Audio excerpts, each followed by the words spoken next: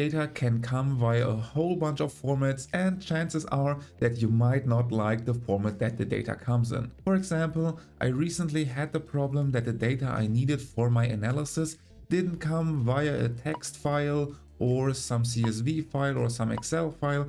Instead, all I had was some website that I could access through my web browser but not from within R. So what I had to do was to copy and paste all of that stuff from that website, throw that into a text file manually, and then extract all of the things that I needed for my analysis through a bit of text cleaning using the stringr package and R. And today I'm going to show you how that works so that you can apply the same tricks in case you ever need it. In case you don't know me, my name is Albert Rapp. I am a mathematician and data scientist and on this channel I help R users with typical data science tasks like text cleaning. So today we're going to do that. Let's check out how that works. Alright, let's start to look at our data source first. Here we have an HTML website that shows you some employee roster and it's all interactive where you have to drill down into all of these things to see who works where. And if we unfold all of these things, then a really low tech and simple thing you can do is to just copy and paste all of this stuff into a text file. So once you have that copied, then you move to RStudio where you create a text file. I already have one here. So this is why I just use this empty file here. Otherwise you can just go on new file, new text file, and then name it something. In this case, I named it employees.txt. As I've said, just a simple text file. And then after you have copied the stuff from the previous page, you can just paste this stuff in here and you have all of the information inside of this text file. I know that this isn't pretty, but sometimes you don't really find another way to get to your data really quickly. So this kind of stupid low-tech version of having to find out how to work with that is oftentimes the only way to move forward. In a Quarto file, you can now load the tidyverse. Let's do that here. And then we can use the read lines function where we load the data. Here I just have to move to my directory that I called collab. It's supposed to be collapsible, but I guess I misspelled it.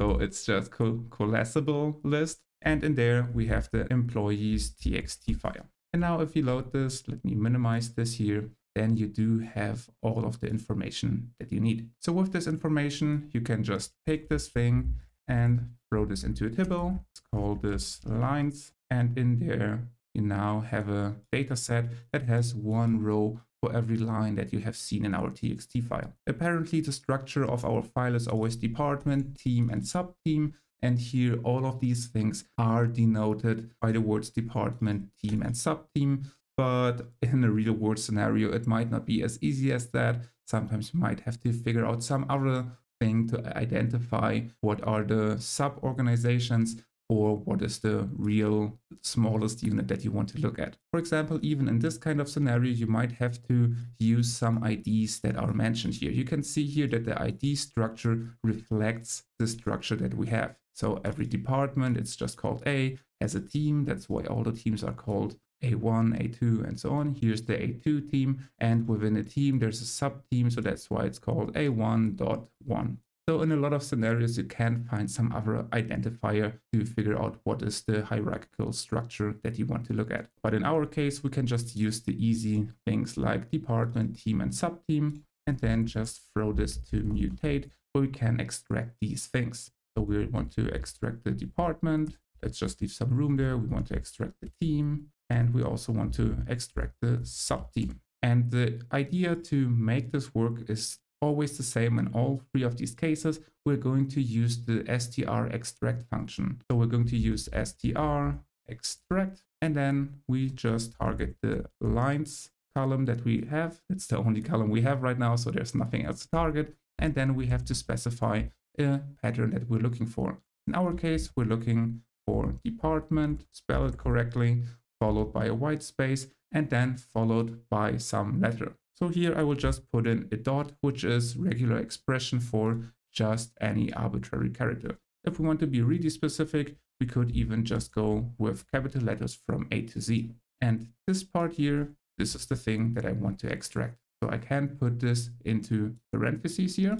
And if I comment out these things, for a second. And if I execute this, we do see here that this department column was created. And when we had a department, this thing was actually matched. But I don't want to have this department word in front of all the things that I have in that column. I only want to have the letter A in there. So that's why inside of str extract, let's just make some room here. There you can set another argument. If you look into the documentation, you will see that there is an argument called group. And if you scroll down, you can see that you can set this to true to return only the match text from the specified capturing group. And guess what? These parentheses, they define capturing groups in using regular expressions. So let's set group to true. Now if we execute this and we minimize the documentation, then we see here only A is extracted. So that's neat and we can more or less proceed in the exact same way with the other columns. So for team and subteam, we can do the exact same thing. Let me just copy and paste this part here. And then we want to do the same thing for team and the same thing for subteam. And we can get rid of this part here. And then we know in this case, we're looking for team followed by a capital letter followed by some number. Let's just assume that the numbers are always just a single digit from 1 to 9. And then for the subteam, we can do the exact same thing. Let's just copy this part here because it's also part of the ID. But here we need to use the subteam word. And here it's the A or B or C or whatever, then followed by a single digit, followed by a dot. But this time we mean a literal dot and not the regular expression dot that says any character that you can think of. So that's why we have to escape this thing using these escaping backslashes. And then we can say, okay, once again, we do have a single digit here. And now if we execute this, we do see that we always get these matches here. All right, so now we have all of the information about the department, team, and sub-team things in here. Now let's try to fill up these empty NA values by just filling downwards. So so if I just use this data set here and then I just print it to show all of the lines, I do want to have the department column filled with A's all the way down to B, and then it's just B's again. And the same thing should happen with A1 and A2. And for that, there is the fill function. In there, you just specify the columns that you want to fill. In this case, we want to fill all the columns from department to subteam. And now, just print all of the rows again, you do see here now that everything was filled for us. Sweet. This means that we can concentrate on the actual rows that only have the employees inside of it. We don't need the information about the structure that we had in our txt files from before. Remember this part came from this HTML web page that had the structure here with the collapsible folds. Since we don't need that anymore because we have that in these columns, let's filter this out. So let's just throw all of this to filter, pass this to this print function so that we see all of the rows again. And then we just have to filter out all of the rows where there literally is the word department, team, or sub-team in it. So let's just use the str detect function to do exactly that. We want to target the lines column. And in there, we just say, okay, we're looking for department, or we're looking for team, or we're looking for subteam. Just throw all of this in here and we use these vertical lines to use the regular expression notation to say either this group or this group or this group. And now if we execute this, we see here that we have all of the rows that fulfill the specific criterion. And if we want to have the opposite, we can just say, okay, str detect, these negate the results. So let's just throw in negate is true. And that way we make some more room here because this isn't nice legible code. Let's just throw everything onto one new line. Now we see that we have all of the employees and we didn't lose any information because the information about department, team and sub-team, it's all just inside of these columns in here. Perfect. Now the remaining thing that needs to be done is to just use the exact same strategy that we have used here and extract the IDs of these employees. And then we can just delete everything that comes after the names. So let's just go with a mutate call. And in there we use the same logic as before. We target the lines column. So here we can just look for the word ID followed by a colon followed by a white space. And then the digits that come after that are our ID. Let's just throw this in here. Of course, we don't want to name this department. We want to name this ID.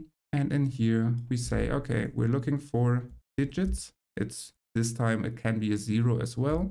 So let's go from zero to nine. And since we don't only have one digit, but maybe multiples, we could just put in a plus. Or since we, in our case, know we're always looking for exactly four digits, let's just throw the regular expression notation for saying of these things, look for exactly four. And now if we execute this and throw this to print, then we see that we get an error. It says subscript out of bounds, and this is because we didn't define a group.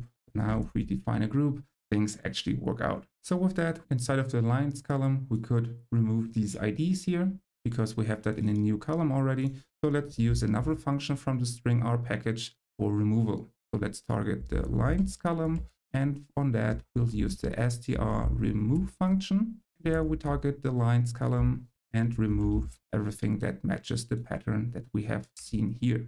So throwing the exact same thing in there, we noticed that, okay, we didn't get enough. We wanted to have a white space minus and white space. We should get rid of that too. So let's just throw this into our pattern here as well. So that's neat. We now have a data set where we have names in it. The column name right now isn't great. We should change that in a second. And then we have the information about department, team, subteam, and ID. So I could just rename this column name into name, but I kind of want to show you something different, which is also really neat, namely a separate function. So let's just go with separate and then we use the separate wider thing because we want to separate the things that are currently in the lines column into two columns, which means we make this whole thing wider.